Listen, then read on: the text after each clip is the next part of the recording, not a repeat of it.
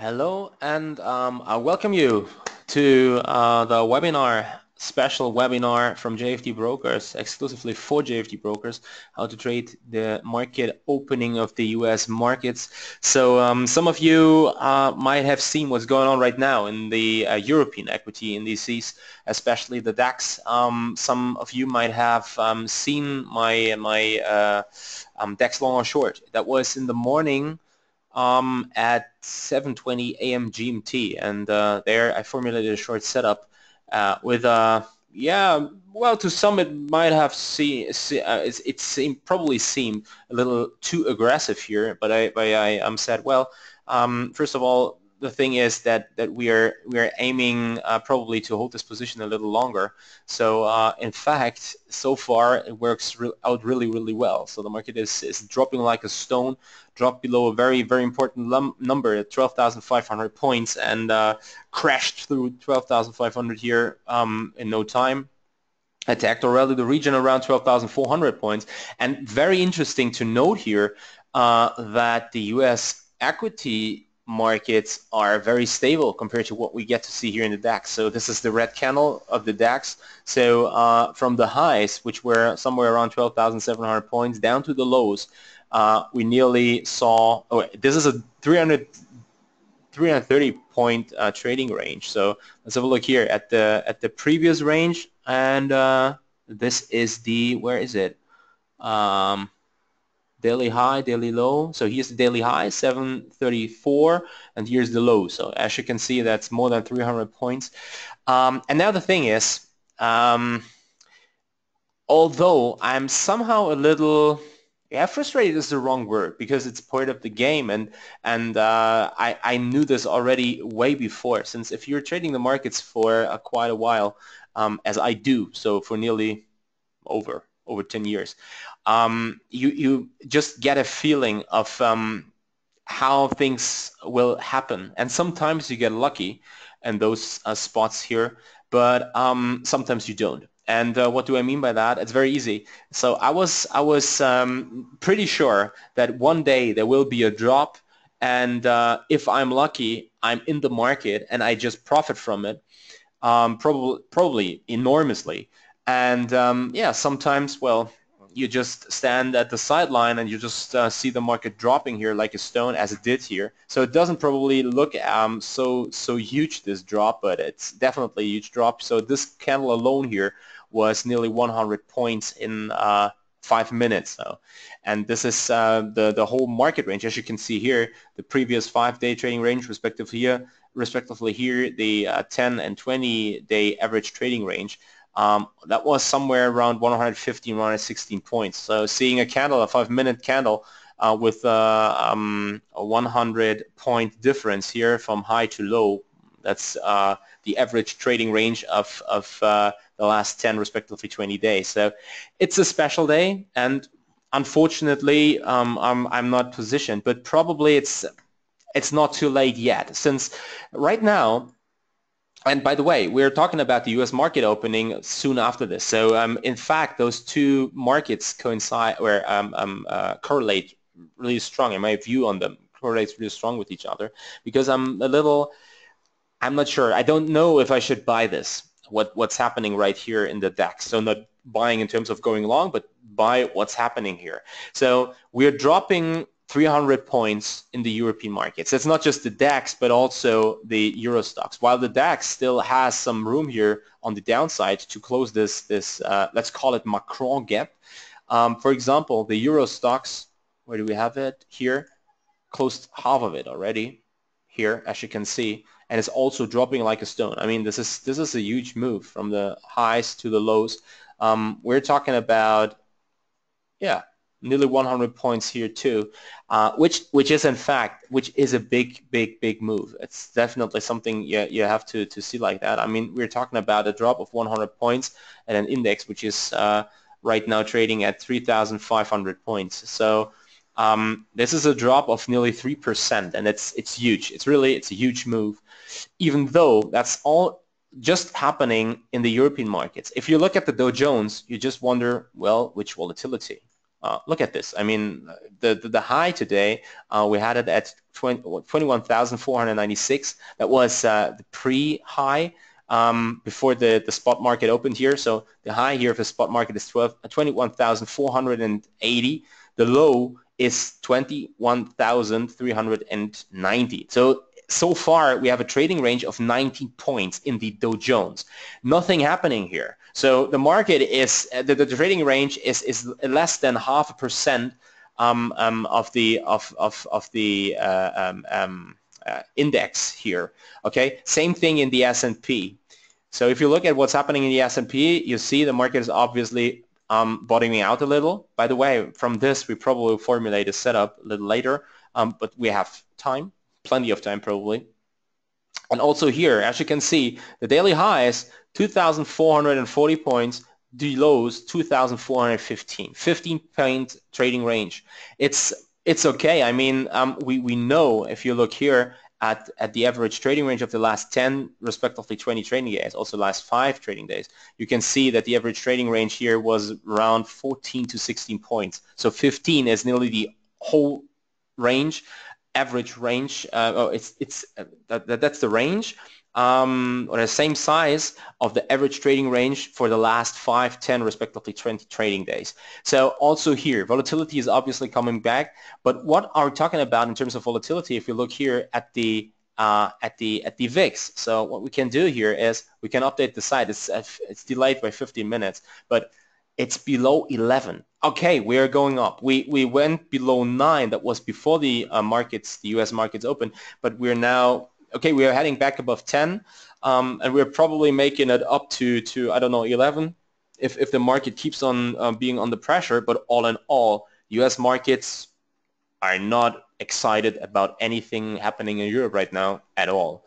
So if I, on top of that, look at what's going on in the Japanese yen, who pushed up to 113 today and is now giving back around, well, probably 15 pips, 50 pips uh, here. Let's go to the intraday chart. Let's look what happened here. So usually what you get to see when, when there comes volatility in the markets, what you see is that a Japanese yen start Japanese yen starts to strengthen um, too. That has to do with the fact that people are scaling back on the carry trades here. So we're coming down from 112.91 to as low as 112.40. So meaning really 50 pips from the highs if there was real risk aversion in the market, if there was real panic, and if people are, are looking for exits here and just dumping their positions, you definitely see different market moves in the Japanese yen and the currency markets, but also um, in, in the US equity markets, for example. So um, long thing short, what we see here in the DAX is enormous. It's huge compared to what happened the days before it was expected, could have, you could expect it, expect this here, um, since we knew that the region around 12,500 points was very, very significant. You have a thin market environment, and then things start to make sense here somehow. This has mainly to do with low liquidity, with with thin thin market environment, thin market environment, and probably this is just um, a short interruption of the overall uptrend, which still is in play. Even if this is not a good sign, you just don't want to see this market um, falling below the last relative low here or at, at least um, shortly pushing or spiking below it and then be bought back. Um, this is probably a first indication that the market starts to prepare for for a bigger move down probably, volatility ahead, whatever. But all in all, we have to say that um, if you if you take into account what's happening in U.S. markets and if you take into account what's happening uh, in the currency markets, this move here on the downside is probably just that short sell off, flash crash, stop fishing move, call it whatever you want, but it's not the real deal and uh, meaning that we are now collapsing to new lows. Even though I have to say, um, or no, no, no, let's, let's put it that way. Um, right now, people might wonder whether I plan to go short today, probably in the DAX. So right now, I don't plan to go short. But tomorrow morning, when the DAX opens, I will carefully watch what's happening here around the market open. And probably there will be a chance to short the DAX um, and or no, if the market really, if the DAX shows it's weak, or if, if, if the Asian markets somehow show some weakness, this could result in the DAX then opening below 12,500 points. I mean, it's still a key um, support here. And this means that here, I then look for short engagements based on the open range and probably trade the open range breakout with a target here around 12,070, 12,100 points. So that's right now what I'm looking for, but I'm not getting um, um, heavily excited right now or start to be to be impatient or something. I think it's a first good sign. Volatility seems to come back, but nevertheless, if you look at the overall picture, be aware to consider this break here as the real deal, since it somehow looks as if it, the DAX, respectively European markets, the Euro Stoxx, broke significant levels, but the US indices doesn't. And this is a sign that probably we have to wait for bigger moves here. Um, and that was just a short, that's called blow on the downside, stop fishing, something like this. And from there, we move then higher, probably again towards the region around the current all-time highs, around the region around 13,000 points in the DAX. The all-time highs are still in play in the US equity markets too, I think. So if you look here, we are still trading around the current highs at 21,540 points, the current all-time highs in the Dow Jones. Same thing here for the S&P, where the all-time high is 2,400 and one second, 51, if I'm not mistaken.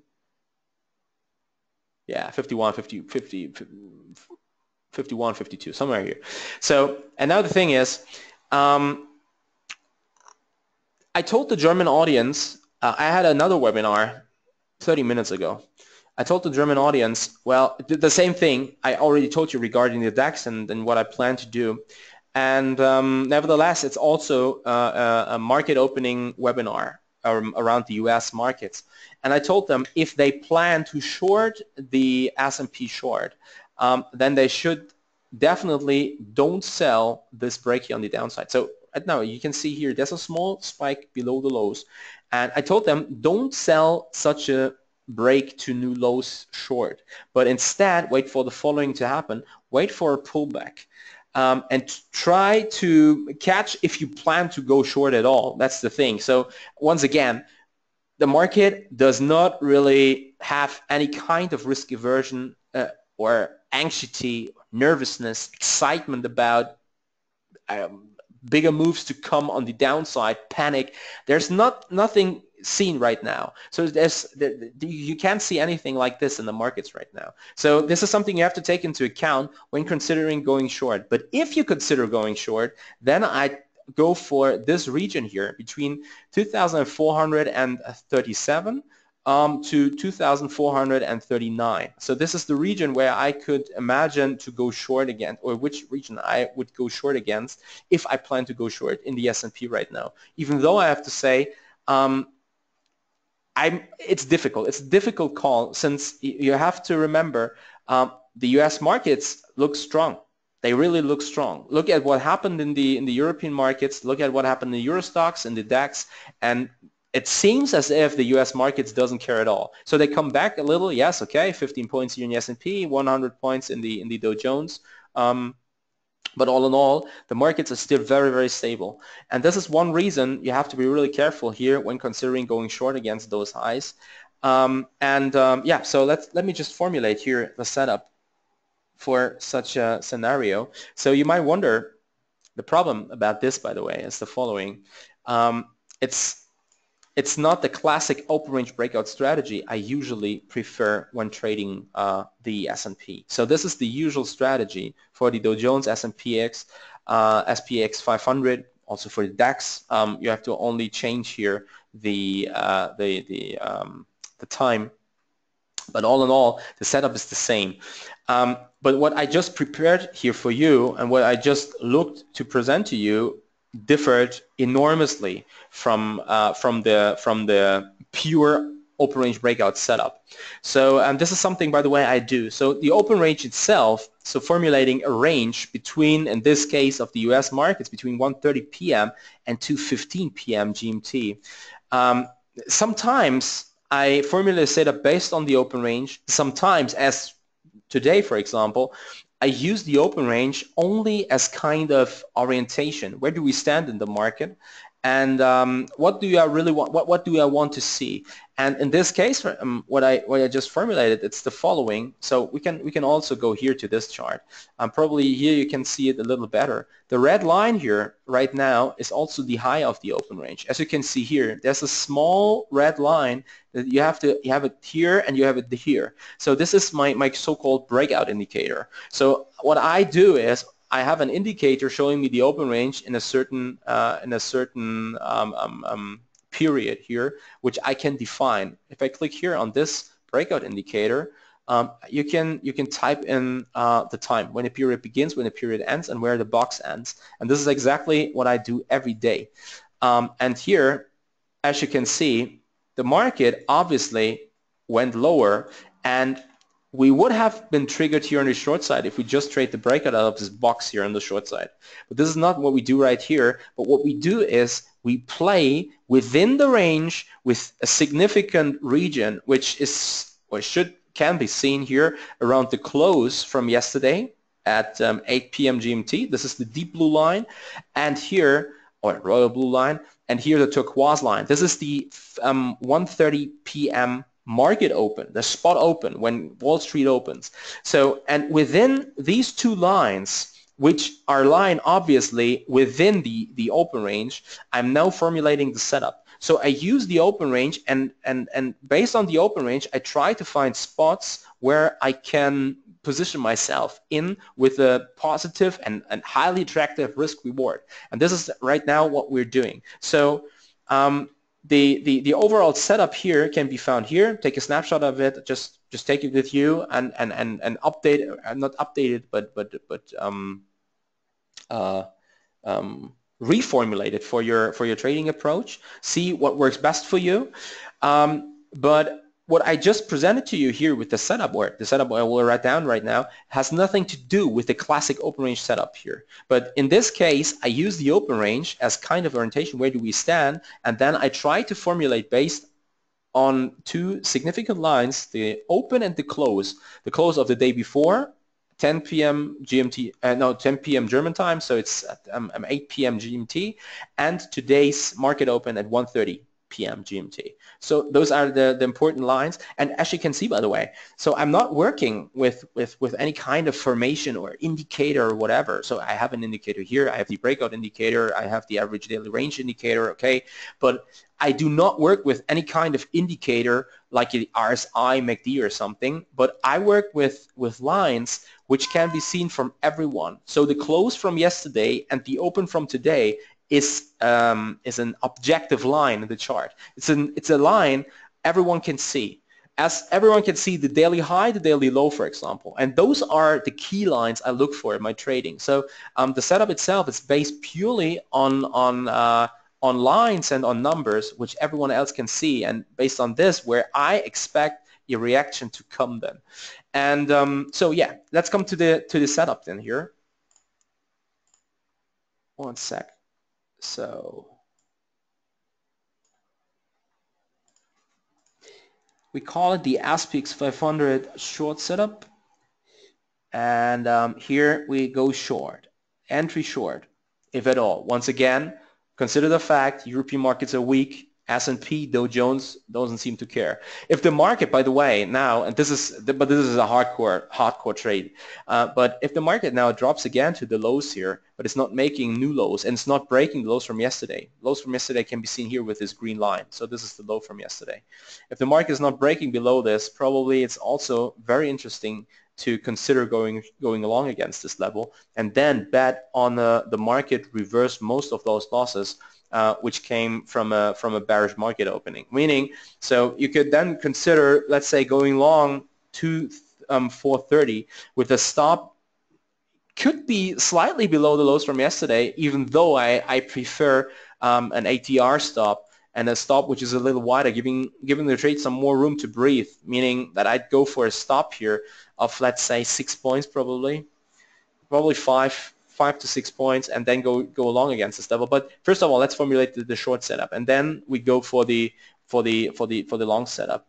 Um, so if the market does not drop to this level again, 430 what did I say, 7, 439. And then we work with a stop, which is here at this level, which is above um, 444, 445. Uh, depends on, on your on your personal preference. Um, what you can do here is uh, reduce the position size. So first of all, you, you say this is the amount of money I'm willing to risk here.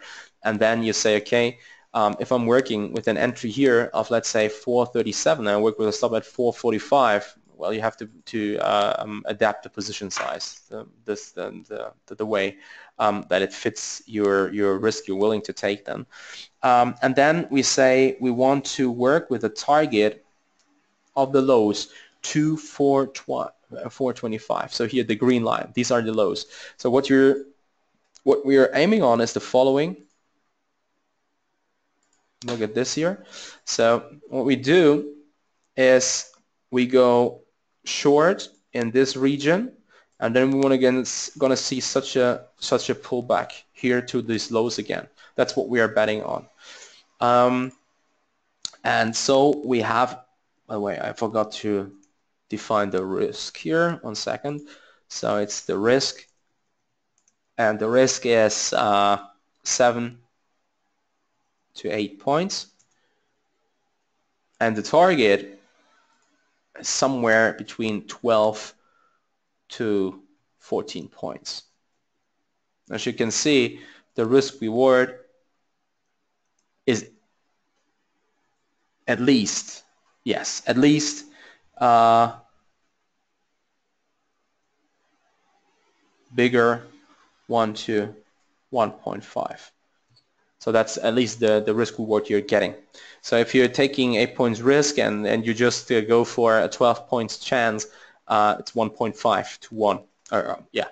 Um, so that's it. That's it on, on, on this side, so the short side. But also, as already said, even though this is uh, this is purely discre discretionary, but I could imagine this to work out too from a risk reward perspective. Looks attractive. So what we could do is the following. One second. Let's go here. So what we can also do is probably we drop again to those lows. But if the market is not making it below the lows here, but stabilizing above this, well, we could say, let's try to get to see a move back to the um, spot open here, probably to the highs from yesterday. Not sure, um, probably, but this is the region we are we are aiming on.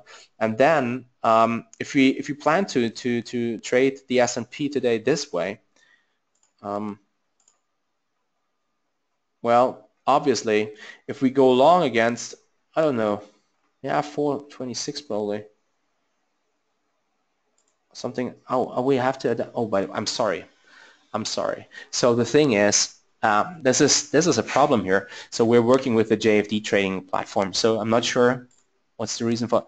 Oh, I'm oh, okay. I'm sorry. So what I did here was I worked not with the uh, um, um, um, spot market, so cash, the S&P cash, but with the with the future. So um, JFD is offering also CFDs on the future too, but there's a difference between the future and the cash market, obviously. So uh, you have to adapt it accordingly. Okay. Um, in this case, we're talking then about 440 to 440, 42 here, um, while the lows are at 428 here. So, um, but but you can easily adapt this. The numbers stay the same. You just you just have to uh, you just have to to to uh, change those numbers here.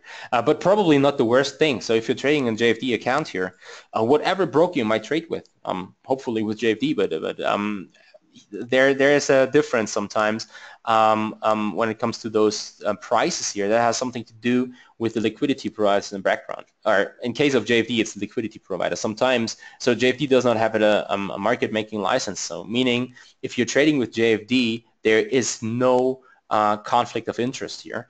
But um, uh, JFD has external liquidity providers offering you liquidity. You can trade on that.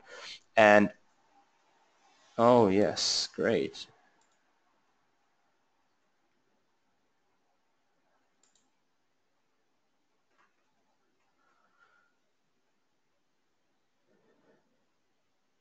Um,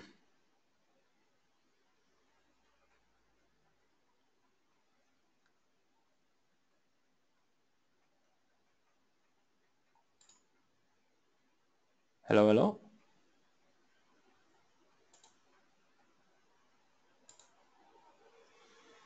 So I'm not sure. Um, can you hear me?